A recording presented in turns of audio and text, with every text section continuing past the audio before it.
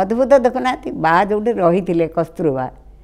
ତାଙ୍କରି ନାଁରେ ଟ୍ରଷ୍ଟ ସେବା କେନ୍ଦ୍ର ହେଲା ପରେ ସେଠି ଦେବୀ ସୁଭଦ୍ରାଙ୍କର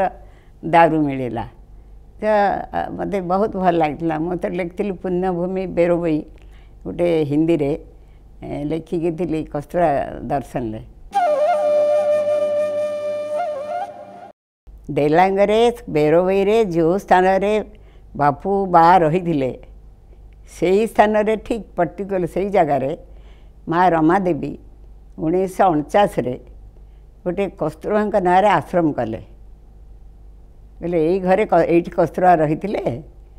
କସ୍ତୁରବା ଟ୍ରଷ୍ଟ ଆରମ୍ଭ ହେଲା ଓଡ଼ିଶାରେ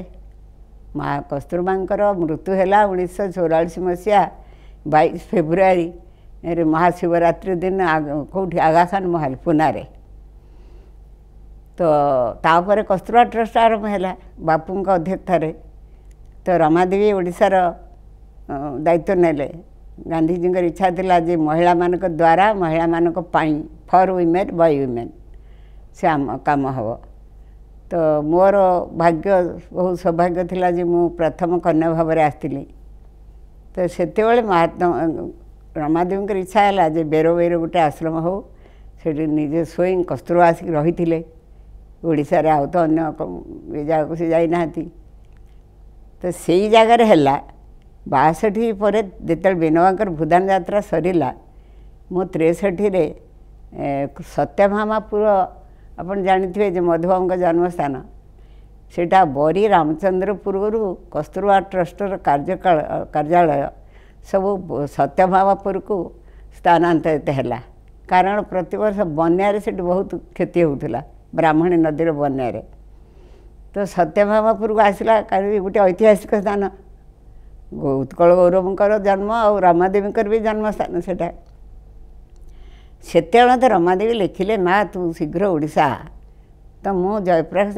आश्रम सुख दोर रुली सोची आपणकरया जिल्ह्यात लिखेले मत जयप्रजी अनुमती नाहीके आसले ସେ ମୋତେ ପଠାଇଲେ ଯେହେତୁ ସାରା ଓଡ଼ିଶାରେ ବୁଲିକିରି କସ୍ତୁରା ଟ୍ରଷ୍ଟର ଯଦି କେନ୍ଦ୍ର ଅଛି ସେଗୁଡ଼ାକ ଟ୍ରଷ୍ଟ ନାଁରେ ରେଜିଷ୍ଟ୍ରେସନ୍ ହେବ ଆଉ ତୁ ଏଇଗୁଡ଼ା କରିପାରିବୁ ତୁ ପାଠଶାଠ ପଢ଼ିଛୁ ତୁ କର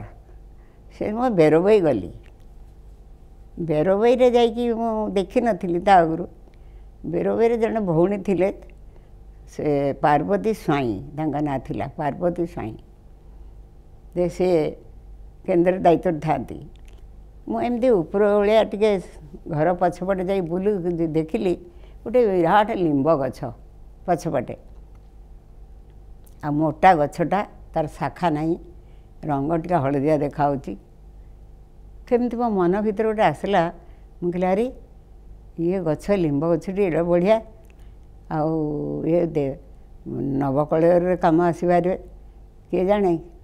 ମୁଁ ହଠାତ୍ ସେ ପାର୍ବତୀ ବାଙ୍କୁ ଡାକିଲି ମୁଁ କହିଲି ଦେଖ ମା ବାପା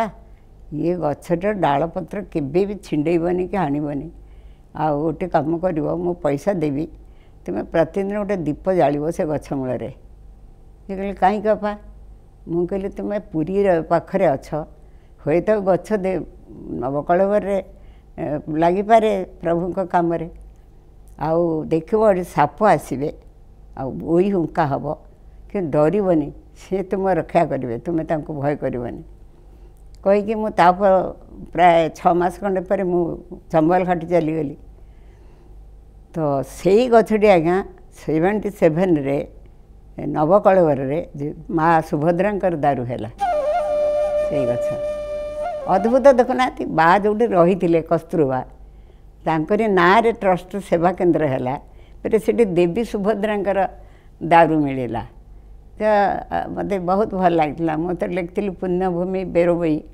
ଗୋଟେ ହିନ୍ଦୀରେ ଲେଖିକି ଥିଲି କସ୍ତୁରା ଦର୍ଶନରେ